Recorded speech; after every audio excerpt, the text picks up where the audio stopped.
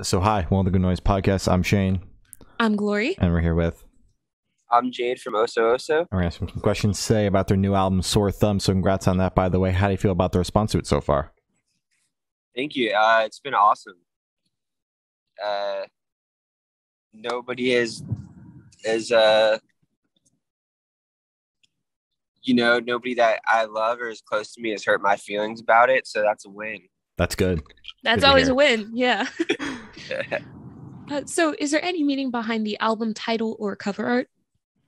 um, the title "Sore Thumb" is just uh, just goes off of a couple things. It was kind of like a, a reference to one this this injury I got back in the, like a couple years ago at a band practice with like uh, playing around with one of my bandmates. Like I injured my thumb and had to go on tour the next day, Oh, so it never kind of healed right. So I always kind of had like this like weird like I had like this dislocation in like my like left thumb Wow. um, that I like to like blame on like going on tour and not getting it healed right. So it's like the idea of it being like it's the sore thumb of the Oso albums, like kind of just like stick out, and uh, it would definitely be like a a different kind of album once it was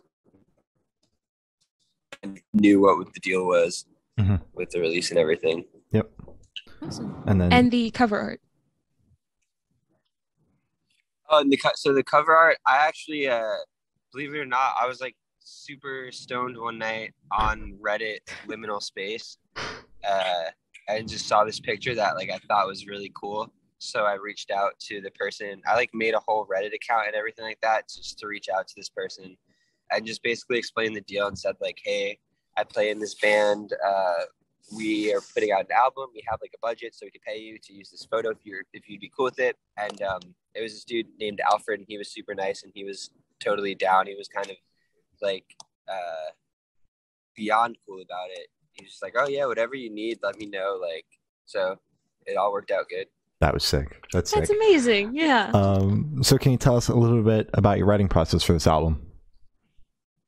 Um, this so this album, uh, it was mostly it was pretty much all written like in the studio in that month because the month that we were recording it and demoing it, uh, the whole goal it was basically mainly like writing focused.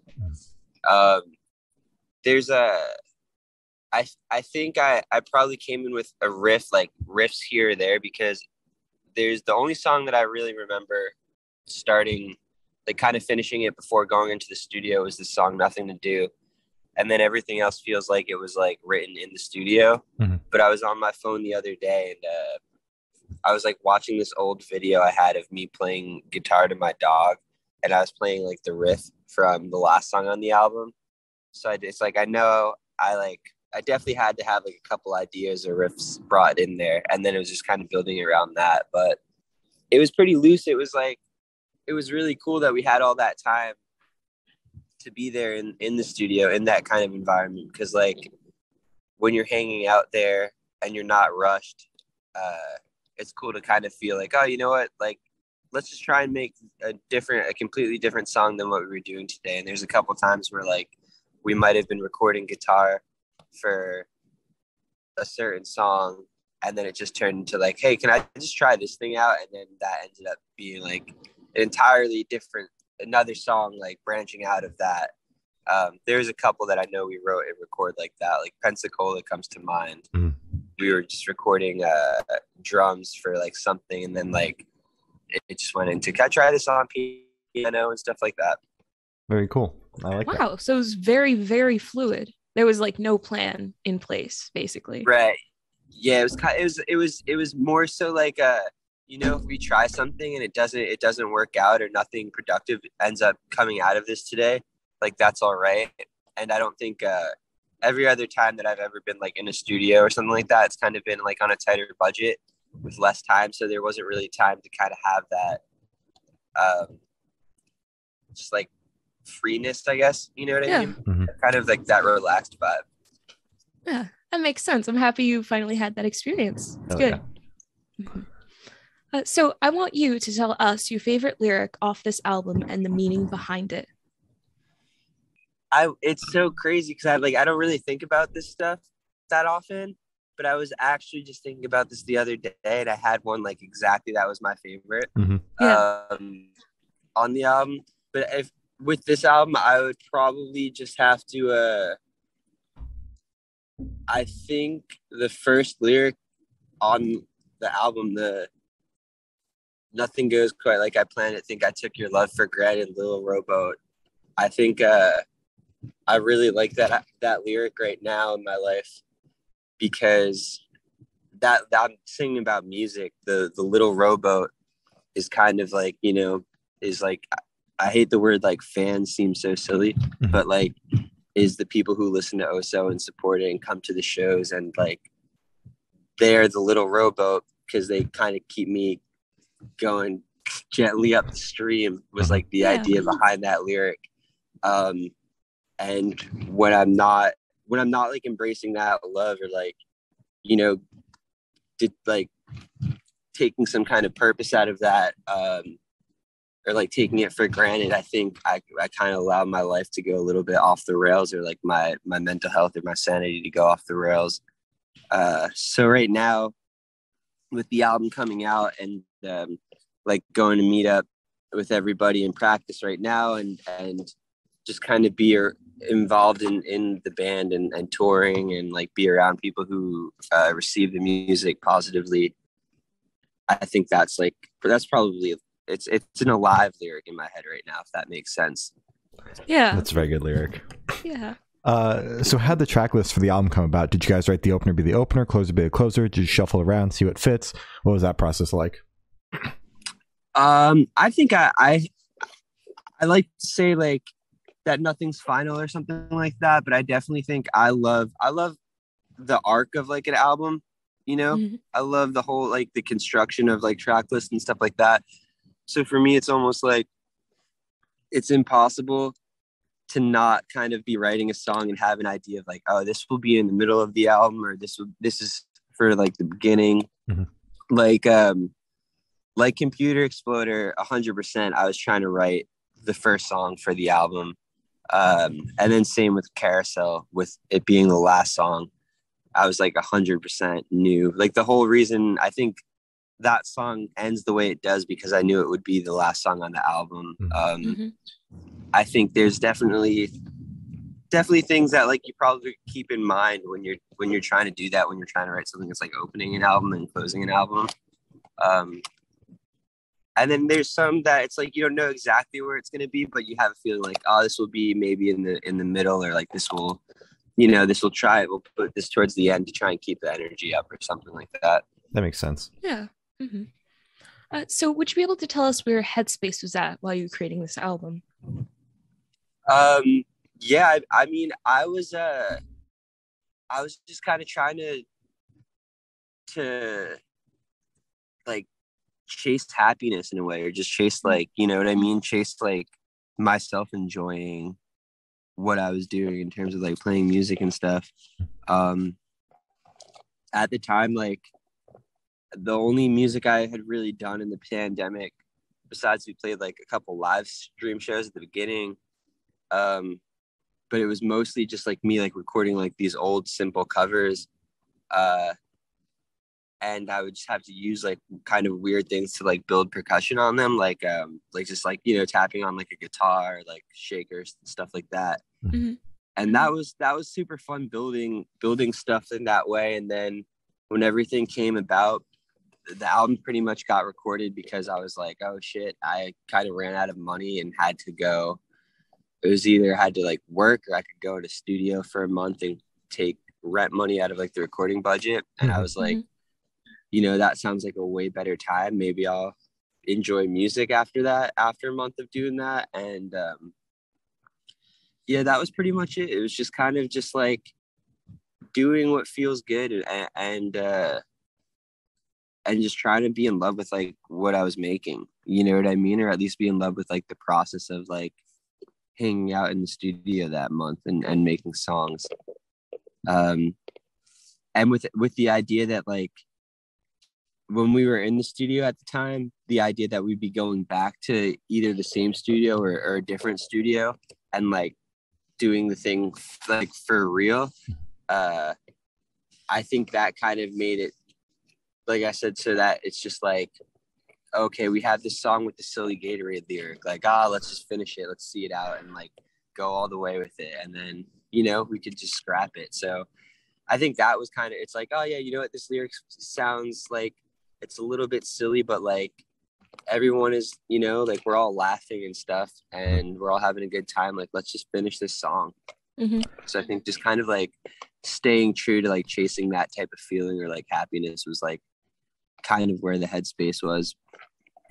You you had mentioned like this this uh whole album process like made you like enjoy making music again. Were you kind of like losing that enjoyment during the pandemic? Yeah, I think the pandemic it was just kind of felt like uh I think I I think personally my hands were just tied because like I felt like I'd spent like you know like most of my adult life doing this. Hmm. I don't really have like a, a college degree or anything like that, so it just kind of felt like um I can't go out and like play music and do this thing that like is now my at the time is like has finally become my job Mhm. and i can't it's like and we have these tours booked so uh, in case the world does go back to normal like tomorrow then i won't be able to go you know what i mean i won't be able to go on tour or like work this or like get a job here because i might have to go on tour Mhm. um so i think i was just in a point in my life where i was frustrated and when you're frustrated like that i think you try and find like the scapegoat and uh when the scapegoat doesn't have to necessarily be like a person or something like that it could just be a decision that you made i feel like which is like with me was like pursuing music. I think it was just easy for me to kind of be angry at it um you know it's like it's the reason why i was stressed out and struggling and like not able to like pay bills. Uh it was easy for me to like look at it like that and i had never had to really look at it through a lens like that. It was always kind of this like dream that i'm pursuing where wouldn't it be nice uh to be able to do this and like make a little bit of money off of it. Mhm. And isn't it funny how quickly, you know, Yeah. how quick Yeah. you could take stuff like that for granted? Mhm. But yeah, I think I think that's where the the disillusionment or something like that with music came for me then. Mhm. Well, I hope you're feeling better about it now. Yeah.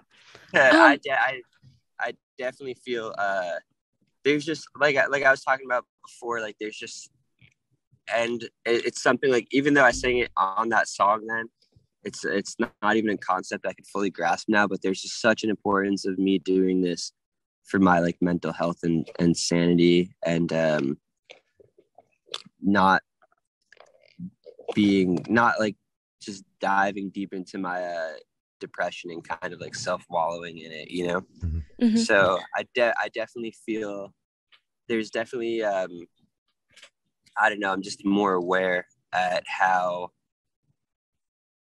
i don't know anytime i try i i feel myself start to like fall out of love with music it just kind of seems like i could view it from a bigger picture and kind of be more grounded in it Mhm. Makes sense. Uh, so, because your writing process for this album was so fluid, do you think if you guys had a more stricter schedule recording with it, do you think that would have might have pushed you away from music because you would have viewed it more as a job than a pleasure? I guess. it, it definitely could have i think i think it would just really it really be dependent on what the end product was that came out with it you know what i Mhm. mean i think with this album uh the thing that's so unique about it for me and the reason why like i think i'll always have a lot of love for it and i'm so happy with how it came out was because of that that whole Yeah. process like spending that time. Um it's kind of like almost like uh it's like getting to like relive through that through that time through certain things. Like there's a lot of things on the record that's just like like there's beeps and whistles and stuff here and there that uh a lot of times are just moments that like kind of randomly got into the song because something happened Yeah. um that i just hear every time i hear it i remember it you know what i mean so i think that just really keeps me uh keeps me in love with it in terms of the record. I think if we didn't have that much time, then maybe some of the choices that we made and maybe some of the songs that or the way that the songs turned out, they don't turn out that way. Mhm. Um and you know, without without all the memories that are attached to this record, it's like it definitely becomes a little bit something else for me. I don't know. Yeah. It's it's it's it's kind of like a it's interesting. It's like a hypothetical, hard to te- hard to know. You know what I mean? What would happen Mhm. with it? But I definitely could see if we had if we were more pressed for time. I think it'd be an entirely different experience that would be hard to uh it hard to it, it'd be hard to come close to feeling the same way about it that I do now. You know, whether I was Sure. happy about it or not. yeah. for sure. Uh, so this question should be super, super quick off the top of your head. I want you to describe this album for new listeners in three words, no more, no less. Um, an interesting time. Perfect. okay.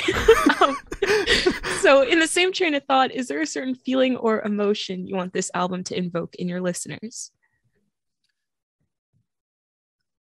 Um, I just hope I hope people I hope if someone listens to it for the first time, they come away feeling like there is a, a lot more there than what they heard on the first time, if that makes sense.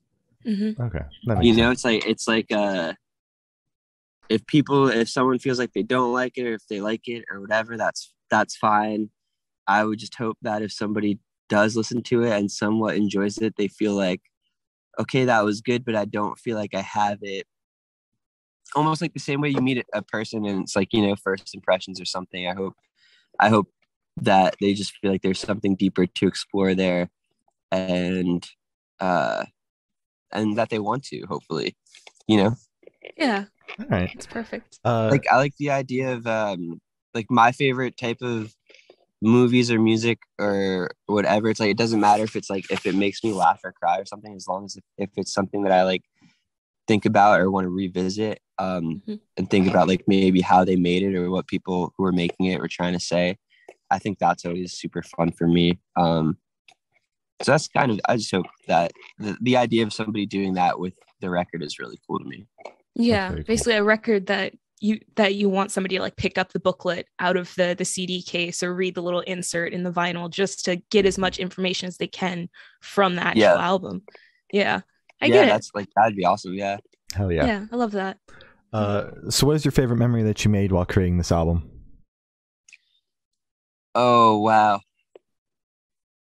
Oh, it's so hard. It's it's literally so hard to choose. I can't I really like to think of a specific one is is crazy. There's a a specific one that I think that you could hear is like the song All Love. We recorded a lot of that like live and I was on acid when I was recording it and uh there's just like a lot of weird things that we did like there's a, a part where you hear like clicking on the floor and stuff like that um and that was like there was like a broken part of the studio floor Mhm. and i was just like singing the vocals and picking up these like broken floorboards from the floor and then throwing them like back down like trying to do it like in rhythm Yeah.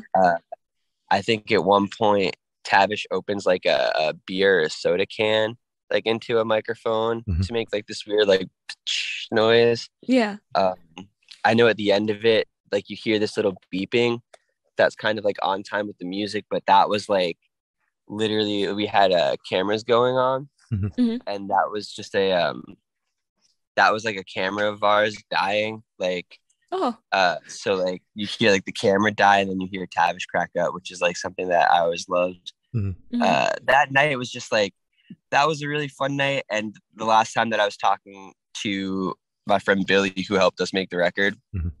about like what what our favorite moments and stuff like that was. We were talking about that for a while, so that was the one that like popped out in my head to speak of. But I feel like I have uh stories from that month that will like literally probably like last me a lifetime. Mhm. Like you know, yeah. It sounds like it. And we only we only scraped the the surface, and it sounds like you you could talk about it for hours. Yeah. Uh, so for these last couple questions, we're actually going to shift away from music, if that's okay with you. Mhm. All right. So we're actually going to go straight to death row. Boom. So if you're on death row, what would your last meal be with a drink? with it with a drink. With a drink? Um, drink. I'd probably go Diet Coke because when I'm feeling like cele- celebratory or whatever, uh like having a nice meal, like I- I'll I'll I'll go for a diet coke. Mhm. Um, I I don't want this answer to define me because it's just literally what I'm thinking of right now. But I probably just get like two corn dogs and like a side of like like a good side like uh string beans, but like like cooked. You know what I mean? Like like cooked string beans and some nice like I don't know. Like kind of like you know what I mean, like Cajun like string Yeah. beans, something like Mhm. that. Mhm. But um, yeah, I don't know why I just go two corn dogs. I've been having corn dogs this week. I just bought like a box of uh six corn dogs, and I've been eating a corn dog for lunch like every day this week, right before I left for this tour. So it's just popped into my head. I mean, that's fair. I had my first corn dog this weekend and it was amazing. So I First, completely get first it. ever. First ever. Yeah. Wow! Yeah. Congrats. Thank you. It was amazing. Life changing. Um, yeah, it's so it's just like yeah, it's just so nice and easy and convenient. And I just keep picturing like two of them on a plate with the the string beans and like a little bit of mustard like on the plate. It just seems like a nice way to go out of this life. I Sure. hope I Have hope you, ever get had- lots of oh, corn dogs on tour. Have you ever tried the Korean corn dogs? I was not only have I tried them, there was about a, a it was maybe a year ago from now. Uh, I kept trying to convince my friends to uh give me money so I could open one of them because they were like they were franchising all around the Northeast, and I was like, oh shit, this is gonna pop off. Yeah. I'm I'm pro corn dog. As you should be. As you should be. Yeah. So if you could live in one fiction world for a week, where would you live? One fictional world for a week. Oh man, I, I know where it would be, but I wouldn't want to live there. I, or go like Gotham City or something like that. Oh, yeah. You. But I wouldn't. I don't. I think I'd want to live there. You know. Mhm. Mm-mm. I just feel like it'd be crazy to live in a city that is under like some domestic terrorism threat every week. oh, yeah. That's so much fun. It's yeah, that'd be insane. But it, it's and it's always like the most like eccentric characters and stuff like that, you Mhm. know. Um. No, no, no. I switch. I, I would live in Middle Earth with the hobbits probably.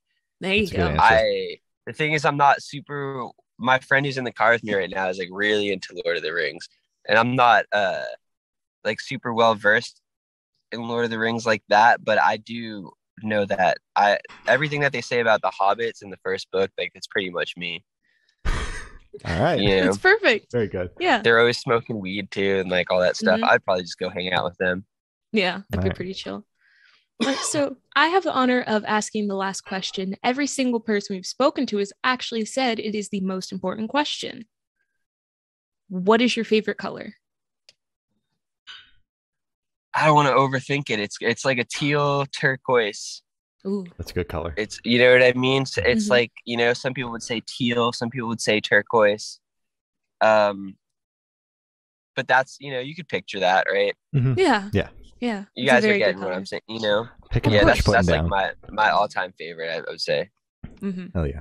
Uh, so as Gloria said, that's all the questions we have today. Is there anything that you would like to plug? Um, no, I don't know. I, Not the I, I album, hope every, the tour. yeah, yeah. The, the Socials? album's out. We got the new album out. Uh, Sore Thumb going on tour. Um, this week with the Menzingers and Sincere Engineer. That's going to be super fun. Um, yeah, if you know anyone listened to this, thank you for listening or watching. And you know, if you listen to the music, thank you for listening to the music. Um, Hell yeah. All right. Perfect. Oh, and, th- and thank you both for for asking me awesome questions and stuff like that. of course. Of course. course, this was a lot of fun. good ones. Yeah. Thank you. Um, well, thank you for now. That's been Jade from Oso Oso, and we have been the Good Noise Podcast.